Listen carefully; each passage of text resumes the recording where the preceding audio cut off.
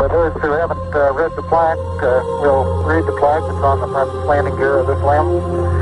There's, two hemispheres, one showing each of the two hemispheres of Earth. Underneath it says, Dear from the planet Earth, first set foot upon the moon, July 1969. It came in peace.